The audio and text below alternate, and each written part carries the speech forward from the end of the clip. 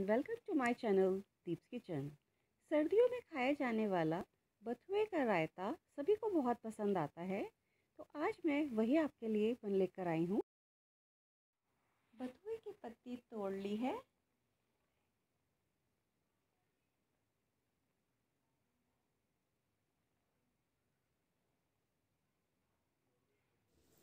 मैंने एक बाउल लिया है, इस बाउल में मैं बथुए की पत्ती डालूँगी। ये करीब ढाई सौ ग्राम के करीब पत्तियाँ हैं। 250 ग्राम्स के करीब पत्तियाँ हैं। इनमें मैं अब पत्तियों में पानी डालूँगी और इसे अच्छे से धो लूँगी।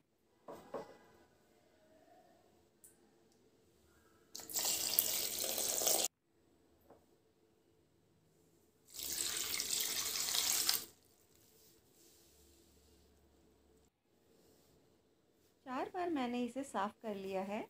इतनी मिट्टी निकली है इसमें से। बथुए में अक्सर बहुत मिट्टी होती है, इसलिए मैं इसे एक बार और साफ़ कर रही हूँ, जिससे कि इसकी सारी मिट्टी निकल जाए। ये देखिए, इसमें से सारी मिट्टी इसकी निकल गई है। ये काफ़ी अच्छे से साफ़ हो गया है।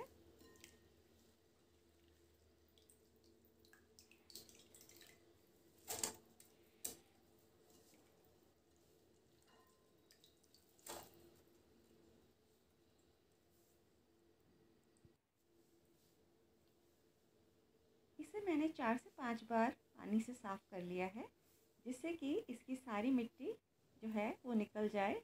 ये देखिए, ये काफ़ी अच्छे से साफ़ हो गया है। अब इसमें बिल्कुल भी मिट्टी नहीं आ रही है। ये बहुत अच्छा साफ़ हुआ है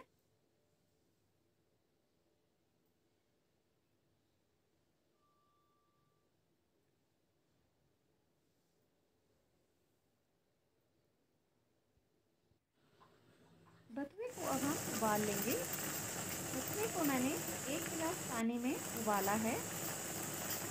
ये बहुत जल्दी उबल जाता है। पाँच से छः मिनट लगता है बथुए को उबलने में।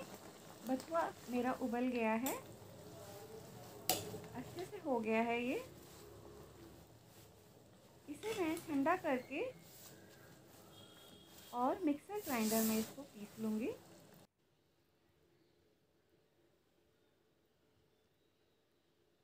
ये देखिए कितना अच्छा पिसके पिसा है ये, बहुत ही अच्छा बन के आया है ये। इसे बहुत पतला नहीं रखना, इसे थोड़ा गाढ़ा ही रखेंगे।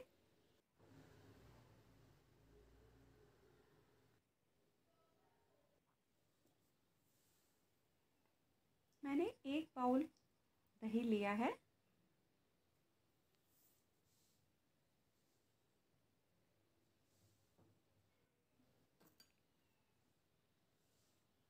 दही में मैं डालूँगी नमक। नमक आप अपने टेस्ट के अकॉर्डिंग डाल सकते हैं। ये मैंने ली है लाल मिर्ची। दो पिंच के करीब मैंने लाल मिर्ची ली है। काला नमक लिया है मैंने वन फोर्थ टीस्पून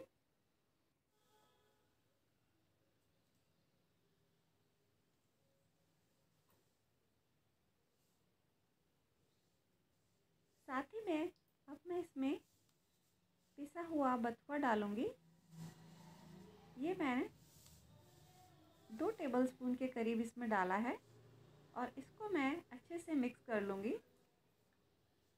अगर आप गाढ़ा पसंद करते हैं तो आप ऐसे बना सकते हैं। अगर आपको थोड़ा सा पतला अच्छा लगता है खाने में तो आप इसमें दूध या पानी भी मिला सकते हैं।